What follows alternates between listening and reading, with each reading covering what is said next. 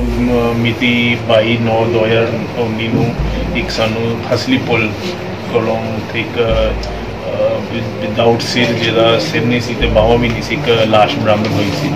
ਜਿਸ ਦੇ ਤਹਿਤ ਅਸੀਂ ਅਨਨਾਮਲੂਮ ਵਿਅਕਤੀਆਂ ਦੇ ਖਿਲਾਫ 197 ਐਫ ਆਈ ਆਰ ਨੰਬਰ ਮਿਤੀ 22/9/19 ਨੂੰ 302 201 ਦੇ ਤਹਿਤ ਅਸੀਂ ਜੋ ਐਫ ਆਈ ਆਰ ਦਰਜ ਕੀਤੀ ਸੀ। ਇਸ ਦੀ ਅੱਗੇ ਜੋ ਇਨਵੈਸਟੀਗੇਸ਼ਨ ਚੱਲਦੇ ਹੋਏ ਸਾਨੂੰ ਜੋ ਪਤਾ ਲੱਗਿਆ ਹੈ, ਇਸ ਦੀ ਜੋ ਪਹਿਲਾਂ ਬੋਡੀ ਦੀ ਸ਼ਨਾਖਤ ਅਸੀਂ ਕਰਵਾਈ ਗਈ। ਬੋਡੀ ਦੀ ਸ਼ਨਾਖਤ ਇੱਕ ਲੇਡੀ ਹੈ ਬਿਸ਼ਨੋ ਉਸਨੇ ਸਾਨੂੰ ਗੁੰਮਸ਼ੁਦਗੀ ਦੀ ਆਪਣੇ ਬੇਟੇ ਦੀ ਗੁੰਮਸ਼ੁਦਗੀ ਲਈ ਉਹਨੇ ਆਪਣੀ ਰਿਪੋਰਟ ਦਿੱਤੀ ਸੀ।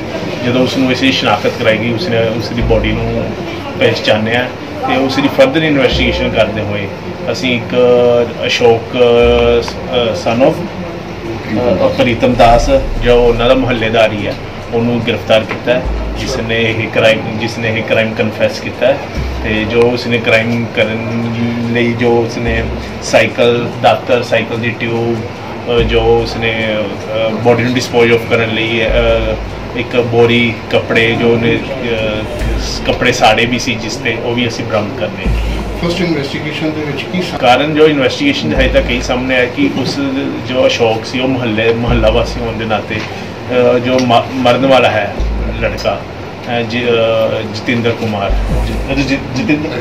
ਰਜਿੰਦਰ ਕੁਮਾਰ।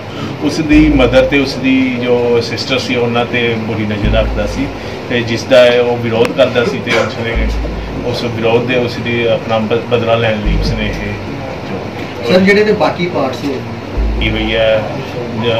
ਉਸ ਨੂੰ ਕਾਫੀ ਅਸੀਂ ਗੋਤਾਖੋਰ ਹੈ ਜੋ ਕਮੇਟੀ ਮੈਂਬਰ ਉੱਥੇ ਹੈਗੇ ਆ ਉਹਨਾਂ ਨੂੰ ਲੈ ਕੇ ਅਸੀਂ ਹਸਲੀ ਪੁਲ ਤੋਂ ਉੱਥੋਂ ਲੱਭਣ ਦੀ ਕੋਸ਼ਿਸ਼ ਕਰ ਰਹੇ ਹਾਂ। ਕਿੰਨੇ ਕੀ ਦੱਸਿਆ ਵੈਸੇ ਇਹਨੇ ਕਿ ਸਟ੍ਰਾਈਕ ਕਿਸ ਤਰ੍ਹਾਂ ਕੀਤੀ ਕਿੱਥੇ ਸੁੱਟਿਆ ਇਸਨੇ ਇਸਨੇ ਇਹ ਦੱਸਿਆ ਜਿੱਥੇ ਇਸਨੇ ਬੋਡੀ ਡਿਸਪੋਜ਼ ਆਫ ਕੀਤੀ ਹੈਗੀ ਹੈ ਹਸਲੀ ਪੁਲ 'ਚ ਉੱਥੇ ਹੀ ਇਹਨੇ ਜੋ ਹੈਗੀ ਹੈ ਤੇ ਉਹ ਸੁੱਟਿਆ। ਬਾਕੀ ਅਸੀਂ ਜੋ ਇਨਵੈਸਟੀਗੇਸ਼ਨ ਹੈ ਲੱਭਦੇ ਪਏ ਹਾਂ। ਤੇ ਸਰ ਜਿਹੜੀ ਇਹ ਘਟਨਾ ਨੇ ਅੰਜਾਮ ਦਿੱਤਾ ਉਹ ਕਿਸ ਜਗ੍ਹਾ ਤੇ ਅੰਜਾਮ ਦਿੱਤਾ? ਉਸ ਉਹ ਉਹ- ਉਸਨੇ ਗਾਂਧੀ ਕੈਂਪ 'ਚ ਇਹ ਪਤਾ ਲੱਗਾ ਸੀ ਇਹਦੀ ਮਾਂ ਨਾਲ ਫੇਰ ਵੀ ਸੀ ਫੇਰ ਵੀ ਗੱਲ ਵਿੱਚ ਆ ਰਹੀ ਸੀ ਜਿਹੜਾ ਅਜੇ ਤੱਕ ਮੈਟਰ ਆਫ ਇਨਵੈਸਟੀਗੇਸ਼ਨ ਹੈ ਜੋ ਗੱਲ ਸਾਹਮਣੇ ਆਏਗੀ।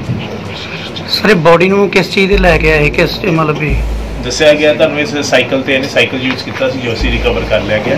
ਜੋ ਇਸਨੇ ਸਾਈਕਲ ਨੂੰ ਬੋਰੀ ਬੋਰੀ ਨਾਲ ਬੰਨ ਕੇ ਬੋਰੀ ਚ ਪਾ ਕੇ ਜੋ ਆਪਣੀ ਸਾਈਕਲ ਦੇ ਪਿੱਛੇ ਟਿਊਬ ਨਾਲ ਵੀ ਬੰਨਿਆ ਸੀ ਉਹ ਵੀ ਰਿਕਵਰ ਕਰ ਲਿਆ। ਇਸੇ ਟਾਈਮ ਦੀ? ਉਸਨੇ ਉਸ ਅਹ, 19 ਤਰੀਕ ਦੀ ਰਾਤ ਨੂੰ 19 20 ਤਰੀਕ ਦੀ ਜੋ ਰਾਤ ਹੈ ਉਸਨੇ ਇਹ ਕੀਤਾ ਕੀ ਰਾਤ ਨੂੰ ਜਿਹੜੀ ਪੀਸੀਆਰ ਫਿਰਦੀ ਆ ਕਿਸੇ ਦੀ ਨਜ਼ਰ ਦੇ ਵਿੱਚ ਇਹ ਆਇਆ ਨਹੀਂ ਉਸ ਟਾਈਮ ਬਚ ਗਿਆ ਉਹਨੇ ਜੋ ਕ੍ਰਾਈਮ ਕਰਨ ਵਾਲੇ ਹੈਗੇ ਆ ਅਕਸਰ ਸ਼ਾਤਿਰ ਹੁੰਦੇ ਆ ਤੇ ਉਹਨਾਂ ਤੋਂ ਬਚ ਬਚਾ ਕੇ ਇਸਨੇ ਕ੍ਰਾਈਮ ਇਹਦਾ ਕ੍ਰਾਈਮ ਕੋਈ ਪ੍ਰੀਵੀਅਸ ਰਿਕਾਰਡ ਹੈਗਾ ਕ੍ਰਾਈਮ ਦਾ?